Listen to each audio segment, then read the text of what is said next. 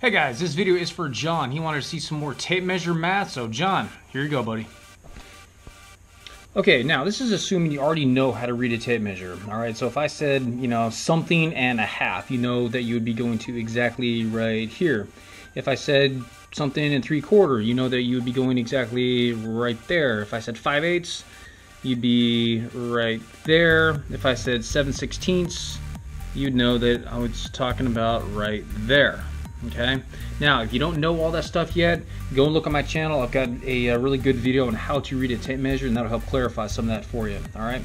Now, what he wanted to know is how to actually add and subtract some various fractions on a tape measure to make his life a little bit easier when he's installing things. All right. So, let's just start off with a pretty simple one. All right. We're just going to go to five and a half, and we're going to add three and an eighth to it. All right, real simple way of how to of uh, how to do this. You're just gonna remember where that half mark is. Okay, and you're gonna count over three more.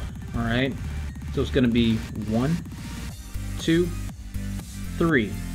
Then, since we're adding three and an eighth to the five and a half, all we're gonna do is add another eighth to what we have there, which is gonna bring it right here, which is going to be eight and five eighths. Okay. Now, next one, we'll do some sub, uh, sub, subtraction. All right, we're to start off with 15 and a quarter, which is right there. And then we're going to take away 7 and 3 quarters. All right, so we're going to count back 7, and we're going to land on this quarter mark every single time. Okay? One, two, three, four, five, six, seven.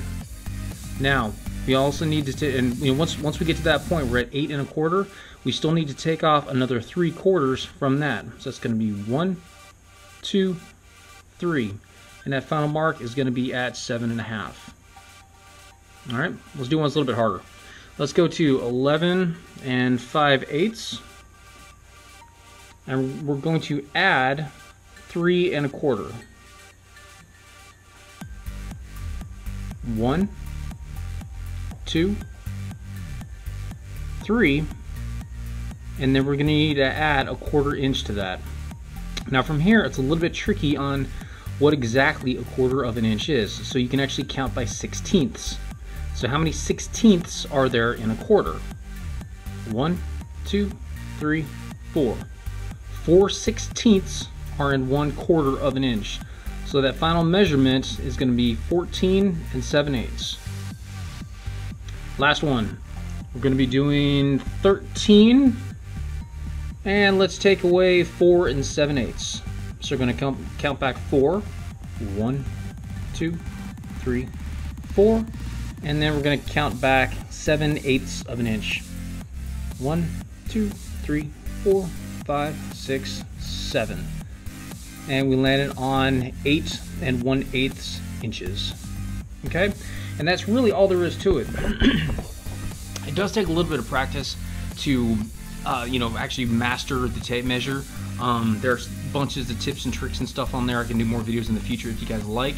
Um, but basically, it just takes a lot of practice to get real familiar with, you know, just looking at, okay, how much from this point to this point, how much is that? Well, that's an eighth of an inch. Each one of these are going to be a sixteenth of an inch. And then you should be able to pick literally any part on the tape measure say right here, that's and just know that that's 7 eighths of an inch, okay? Or know that that's 15 sixteenths of an inch.